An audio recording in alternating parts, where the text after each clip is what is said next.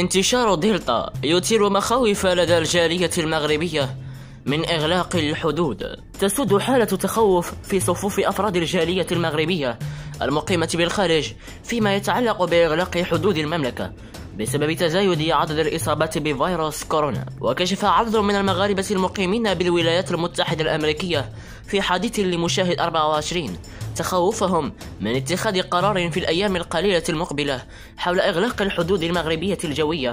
مبرزين أن لديهم التزامات مرتبطة بالمدارس والعمل وسجلوا أنه بعد قضاء العطلة رفق العائلة بالمملكة يستعدون للعودة للبلدان الإقامة لكن يخشون في الوقت ذاته إعلان الحكومة عن قرار إغلاق مفاجئ.